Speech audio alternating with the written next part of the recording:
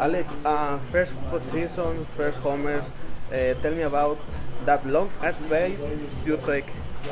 Um, yeah, it was definitely long. Um, I just you know try to get a good pitch to hit and try to just keep on battling. And he was throwing um, good pitches, and I just kept on fouling him off. And then finally, he threw one over the middle of the plate, and and you know put a good swing on it.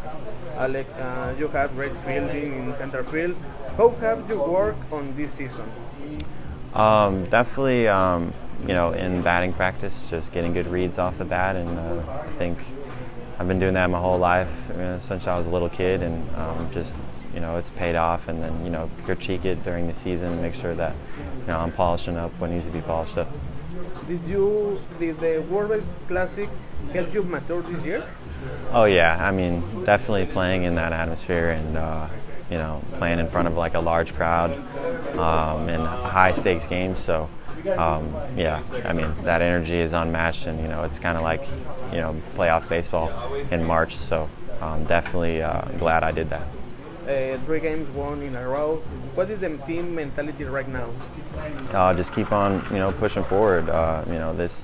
You know the job's not finished yet, and um, you know we still got a lot of work to do, and um, definitely uh, glad we got the three wins, but we got we still got some games to win.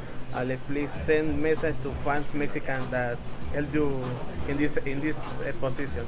Yeah, thank you all, to all the, the, the Mexico fans. You guys, um, yeah, I see you on my social media and everything, and I appreciate you know all the love and support.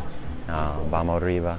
Um, but you, you guys are the best, and you know I'm glad I had that experience with you guys. In Spanish message you have? Ah, Spanish message.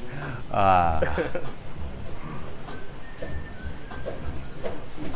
I don't know. I, I, you, you, yeah, vamos Mexico. Way.